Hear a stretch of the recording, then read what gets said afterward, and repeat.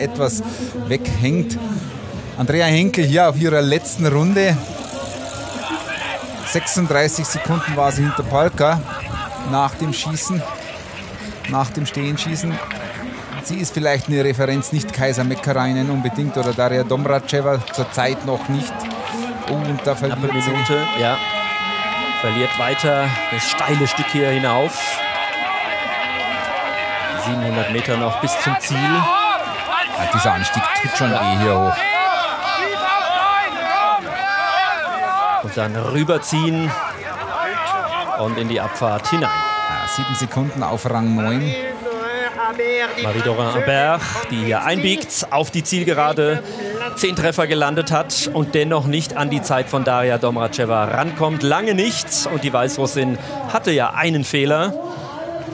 Und selbst gegen die Zeit von Miriam Gössner hat sie keine Chance, die mit vier Strafrunden hier ins Ziel gekommen war. 48,7 Sekunden der Rückstand vor Marie Doran Abert, trotz der zehn Treffer am Schießstand. Ein Fehler bringt Olga Seizeva mit vom liegenden Anschlag.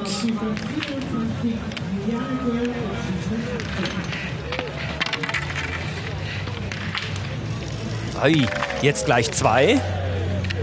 Und der dritte noch hinterher. Sie ja eine von nur zwei Siegerinnen des Vorjahres. Bei zehn Sprints gab es acht Siege für Magdalena Neuner und zwei für Olga Seizeva. Keine andere Athletin hat im vergangenen Jahr einen Sprint gewonnen, Nadine Horschler. So, der Henkel ins Ziel, ja, wollen wir schnell hinschauen. Für den Moment 12. Rang, 1.05. 4 hat sie nochmal verloren. Nadine Horschler macht das gut. Macht das sehr gut. Sehr starkes Schießen. Magdalena Quiston. Auch sie landet im vorderen Feld. Gute Leistungen, die wir heute hier von den Polinnen sehen. Gute Schießleistungen. 20 Sekunden. Der Rückstand von Nadine Heuchler auf Kaiser Meckerein.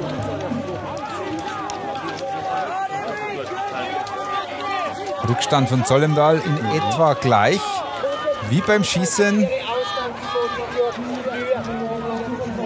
Ja, ein wenig hat sie sogar verloren auf Kaiser Meckereine natürlich zu diesem Zeitpunkt. Und Tora Berger in ihrer Komplexleistung, da ist sie einfach gut, wie du es auch gesagt hast, natürlich auch, äh, wie man sieht. Läuferisch nicht unbedingt ganz, ganz vorne dabei. Gegen Meckereinen und gegen Domracheva hat sie momentan läuferisch keine Chance, aber sie schießt halt einfach perfekt. Das Jagen und Fischen da oben in Norwegen in dieser Einsamkeit Rückzugsgebiet. gut, ja. Absolut.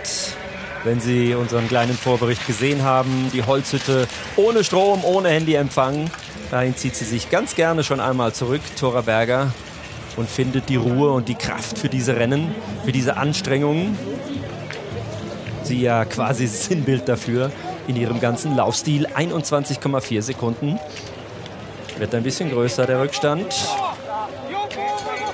Eine Runde, die Miriam Gössner da kompensiert hatte, denn die ist nur ein Bruchteil von Sekunden schneller jetzt an dieser Zeit gewesen, die Miriam. Also die ist schon unglaublich schnell unterwegs gewesen. Und sie kann, naja, nee. Ja doch, vielleicht kann sie unter den ersten zehn bleiben. Im Augenblick ist Miriam Gössner siebte. Ja, und wir haben es gerade gesehen, ist ein bisschen wärmer geworden. Minus sieben Grad sind es noch. Ja, ist ganz ordentlich, sehr ordentlich unterwegs. Sinowee Solendal. Noch drei Sekunden vor Miriam Gössner, die ja dann noch drei Fehler Ja, ja, geschossen eben. hat. Das muss man ja wissen. und sich noch drei Strafrunden aufgeladen hat. Die junge Dame aus Lillehammer, 23 Jahre ist sie alt, auf einem guten Weg. Kaiser Meckereinen hat bisher die schnellste Laufzeit, 3,7 Sekunden vor Miriam Gössner. Und Andrea Henkel im Augenblick auf Rang 5 mit 56 Sekunden zurück in der reinen Laufzeit. Dora Berger hier im Anstieg. Ja, und die Schwedin Asaliv, auch ein junges neues Gesicht in der schwedischen Mannschaft, hängt sich da an die Skienden von Tora Berger. Versucht das Tempo hier im Anstieg mitzugehen. Gilt es ja über die Kuppe oben hinweg zu ziehen, das Tempo mitzunehmen in die Abfahrt.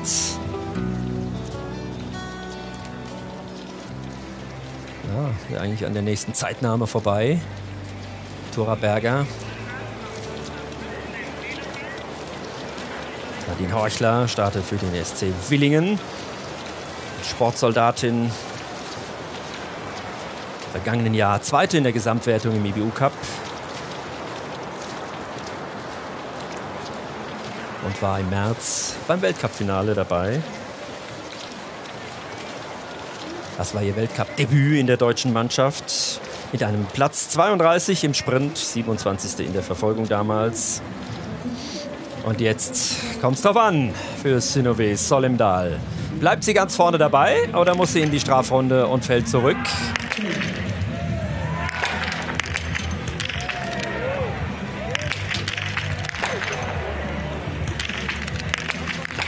Okay, eine Strafrunde. Die muss sie absolvieren. Zwei, ja, 25 Sekunden sind es bei den Damen in etwa. Nadine Horchler, 30,7 Sekunden. Zwölfter Rang. Stark. Oh ja, oh ja, Solemdal ja. ist nach wie vor ganz vorne Meine mit dabei. Kandidatin, ja. Jetzt hier in der Strafrunde. Ja, hier die Haltung wirklich gut. Da kann man gar nichts sagen. Schöner Anschlag. Schauen wir auf die Zeit. Jetzt kommt sie raus hier vorne durch die Zeitnahme. Oh, ja, hin, mein lieber schau Mann. Schau hin, schau hin. Geht hier in Führung. Und jetzt Tora Berger. Gelingt ihr wieder fehlerfreies Schießen?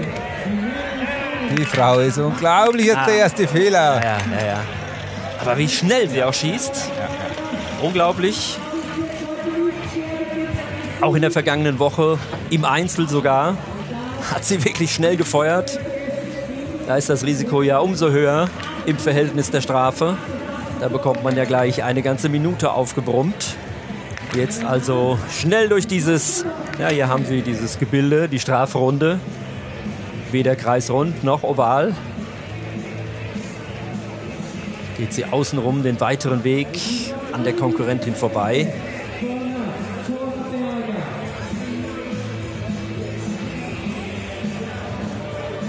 Erleben wir heute eine andere Siegerin zum ersten Mal in dieser Saison? Das sieht so aus. 9,5 Sekunden ihr Rückstand auf Solemdal, auf die Teamkollegin.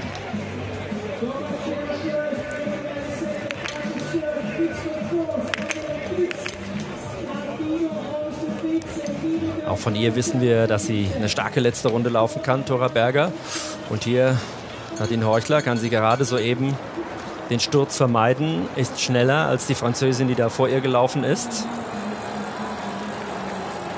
Claire Breton ist das. Und geht deshalb an der Athletin vorbei. So, Tora Berger hinter ihr.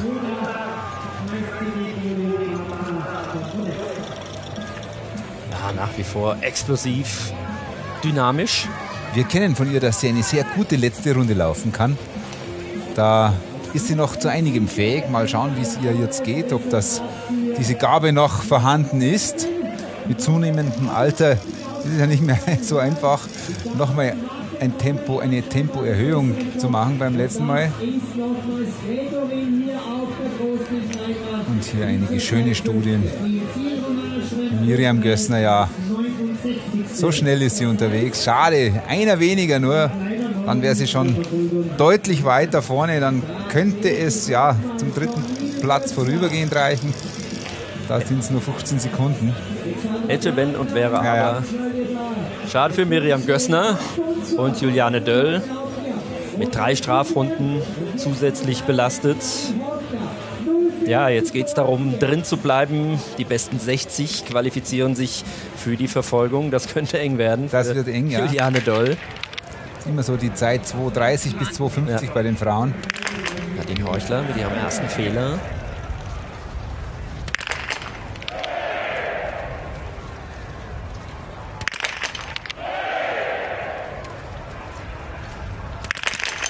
Ja, aber das ist okay.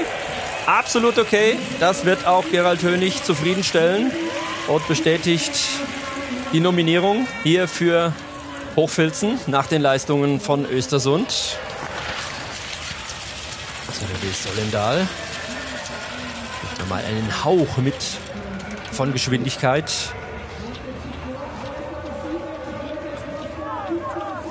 Gegen die Zeit von Daria Domracheva. 1,1 Sekunden. Ja, die Weißrussin hat schon eine sehr, sehr schnelle Schlussrunde dahin gezaubert. Ja, da hat sie sechs Sekunden verloren auf Domracheva.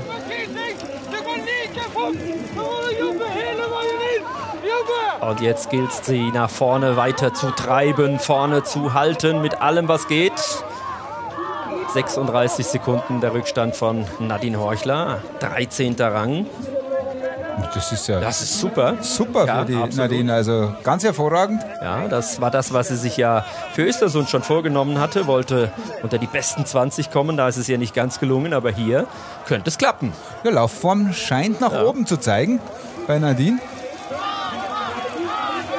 Ja, der Rückstand von Tora Berger nach dem Schießen war 9,5 Sekunden auf die Spitze, auf Synnöve Solemdal zu diesem Zeitpunkt.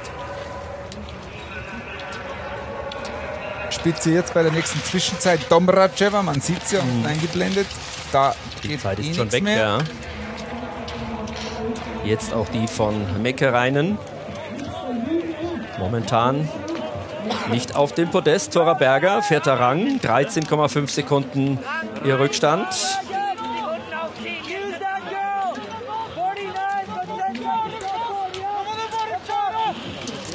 Und jetzt noch einmal, jetzt wo es weh tut, in dieser letzten Runde noch einmal dieser Anstieg.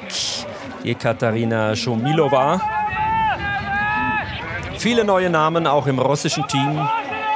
Die Auswahl, die Wolfgang Pichler da zur Verfügung hat, ist riesengroß. Hat auch hier acht Athletinnen dabei. Und sagt, ich muss jeden Tag überlegen, wen ich draußen lasse. Das ist ein Luxusproblem.